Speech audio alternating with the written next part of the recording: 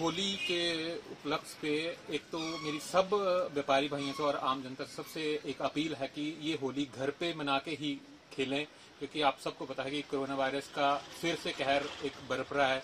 तो मेरी सबसे हाथ जोड़ के विनती है कि जो भी होली खेलें, वो अपने घर में खेलें और सुरक्षित होली खेलें। और आप सबको होली की बहुत बहुत शुभकामनाएँ, व्यापार मंडल की ओर से, पर्सनली मेरी ओर से बहुत बहुत बधाई और बहुत शुभकामनाएँ।